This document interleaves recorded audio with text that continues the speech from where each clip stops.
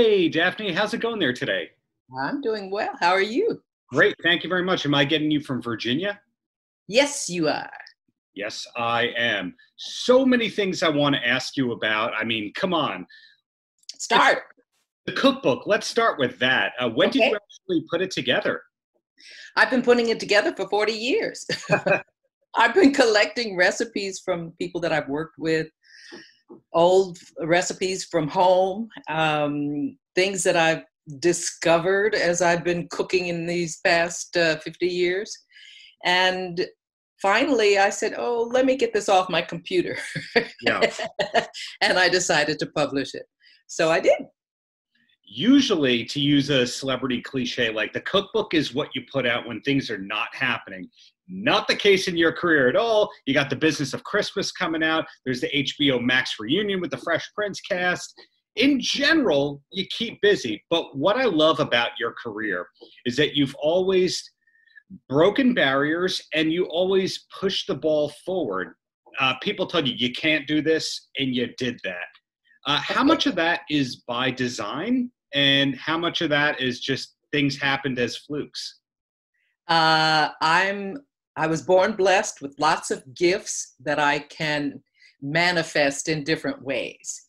And I have had the opportunity to be in the right place at the right time and smart enough to take advantage of the opportunity. So I think it's a little bit of kismet and a little bit of preparation. Sure.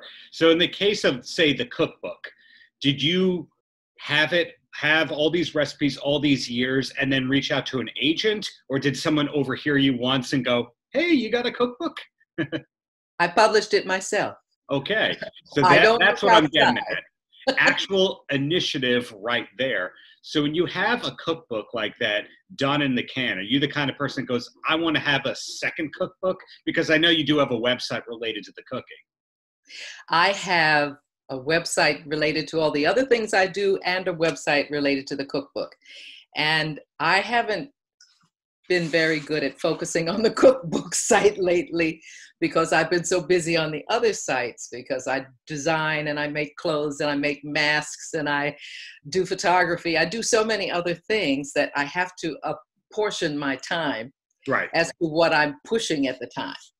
And uh, the cookbook is just starting to be revamped up for pushing. Yeah. And I just realized that the stock on the um, cookbook has diminished to uh, maybe 10 copies. So I called my public my uh, printer Yeah, and. I said, hit it, do another run. I do everything on the computer. I format it, I do all the editing, I do everything myself. And I send a file to the printer and tell them what kind of paper I want to use and and get a proof and say, okay, let's go with it. I've been working with the same printer for about oh 15 years. And Okay. I published four books before the cookbook. Yes. I do photography books.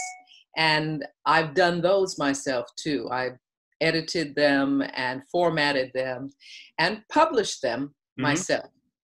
And That I sell them gonna on the website or live or different uh, gift shops sell some of the things that I've made, note cards, lots of different things. I've, I've had a great journey. You have, you have had, you had, it's it's all those kinds of verbs there, but you beat me to it. I was gonna say the photography books, because there's been multiple photography books. Again, a lot of people go, I'm gonna do a photography book and that's it. They've exhausted all their photographs that are kind of great. And also, uh, pho- photography kind of books are less common because the the playing field's been leveled a little bit, where anyone can think that they are a great photographer based on a couple of filters and all that. But did you actually study photography, or are you self-taught? Oh no, I didn't study. Uh, I learned photography through doing it, Mhm. and I've had a camera since I was nine years old. So I've been doing it a long time since you had to put film in the camera. Right. so um, my father was an amateur photographer so he always took pictures of the family and places that we went and i've got lots and lots and lots of the photos that he took and uh, in my travels I've always taken pictures. I'm mm-hmm. married mm-hmm. to a man who is also a photographer, and he always has a camera and is taking pictures. So I have an accumulation of thousands of pictures, and culling them uh, is deciding what topic I want to deal with at the time. And for about 10 years, I was dealing with doors, solely doors. I would only take pictures of doors, and I was looking through all of my files, and there were doors there. And I think it's because my degree from Northwestern University is yeah. in interior design and architecture. And I always focus on the details in architecture. And doors were talking to me. And they told me, uh, I am a metaphor for life. So consider me a passageway to adventure, curiosity, opportunity. And then tell people how to dream by looking at the details in their life and to notice all those details because they enrichen the journey that you're traveling. It's not just getting from A to B, mm-hmm. but is what between A and B that makes your life very rich. So I encourage people to look at details, and I did it through doors. The man that you mentioned, I am also a fan of. Uh, I knew of him from being on Sister Sister. But then when I learned that him and Tom Dreesen were a comedy team and all the barriers that they broke, I don't think anybody realized that. So you two are one of the most multifaceted couples I've ever read about, heard about. And you two are also multi hyphenate career kind of people. Like if I were to say, what is Daphne? Is she an actress? Is she a model, a photographer, yeah. author, yeah. a cook, a designer? Yeah. Yes, yes to all those. But how do you personally like to be thought of or introduced? As mom or grandma. I, I, it depends on the situation. Some things call for the light to be shined on my acting. Some uh, places where I am calls for my light to be shined on photography yeah. or on designing and creating these wonderful uh, wearable art pieces that I've been doing for years. And I like all the situations, and I'm light on my feet, so I can be ready when I get into a situation. It sounds to me like you're creating something in some form every single day. Do I have that right? You have that right. And that's because God gave me all of these gifts. And these gifts are the talents, and they're the, I have to express and manifest all these gifts, or God's going to be mad at me for not doing that. so well I just, I just love being able to express different things that I am capable of doing. And you just mentioned stuff on top of the stuff that I've mentioned already, being a mother and a grandmother and all that. So a lot of people, when I say, well, what is life like when you're not working? It doesn't sound like there's ever a dull moment over there. But do you have any surprising hobbies you you don't the world doesn't know about? And I ask that for a reason because mm-hmm. people who are creative for a living, I find there's two ways that they go. One is that when they're not working, they're still doing work related stuff. They're watching movies, they're studying, they're talking with other peers in the industry. And then the other one is I have nothing to do with work when I'm not working, family, cooking, that's it. Uh, no, not family, because they're all in, scattered around the, the United States. But sure. um, I do a lot of boards. I'm on lots of wonderful art boards, Child Fund International Board, the Ballet Board. I get a kick out of encouraging other people to share their arts and to share their gifts, whatever they are. And with Child Fund, share your gift of money and time to people who just need something to eat. Mm-hmm. And when I find a group of people who are about that, who are doing it well, I love the opportunity to assist. Mm-hmm.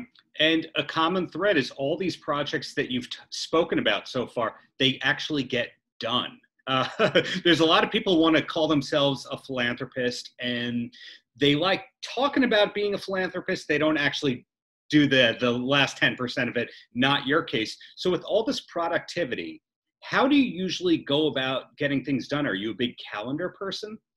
I am strictly a calendar person, and I have to put it on the calendar and I have to abide by the calendar, or things will get very messy in overbooking and double booking and right. oh, I'm supposed to be in India. Oh no, I can't do that. so I have to keep a calendar. And it is the bane of my existence to try to get my husband to put his things on the calendar that we share. But sometimes it happens. And sometimes he says, oh well i plan mm, well you unplan that because you planned something else already well you beat me to it again. I was going to ask well is tim a calendar guy or not? You just answered that one. And being two people who've been although you both do other things you've been creative for a living has that been difficult at times? Or have you two been blessed because the work has kept coming when you didn't think it was going to keep coming? Tim is the creative incubator. I mean, he is so creative. He wakes up in the morning and says, I have an idea. And he goes with it. He thrives on being creative. Mm-hmm. I'm creative and it's okay. But he's creative with a passion. Yeah. and he is he works probably 7 days a week.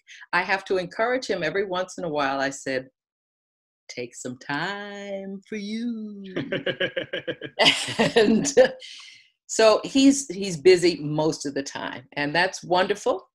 When we were working together, it was I was me trying to keep him balanced with real life because he's so passionate about the projects that he does. So it's a yin and a yang, and we go along, and sometimes I just let him fly, and just he's going to be busy for the next two weeks and i keep myself busy doing something else and being wherever he needs me to be to complete his task so while the world is undeniably a mess right now and no one knows if it's going to be a mess for one more day one more week one more year 10 more years no one knows any of that I really appreciate hearing how you've kept busy on projects that you're passionate about. Same with your husband and all that it's yeah. really refreshing to hear that this isn't an SOS call, this interview, because a lot of these have turned out to be SOS calls. Ooh, ooh, I've been blessed. I've been really blessed. This has been a trying year because of all this COVID and all these um, disparate political things going on. But uh, I've managed to fill the time with things that I think are purposeful. I'm just always looking for a purpose and to fill that purpose. And knowing that we are should be using masks every day, all day, everywhere we are. Mm-hmm. I've been creating masks and I've been selling masks online since I can't sell them in person. Mm-hmm. I sell them online and they've been very successful. I keep selling masks because they're finally realizing you got to have that. It's a good tool to have oh, yeah. as well as washing up and keeping your social distance. But this has also been a time where you get to go inside since you can't go outside. Mm-hmm. You go inside and you say, What do I want to fulfill next? And I look in my little book of, hmm, I got this gift and that gift. Where will I focus this time?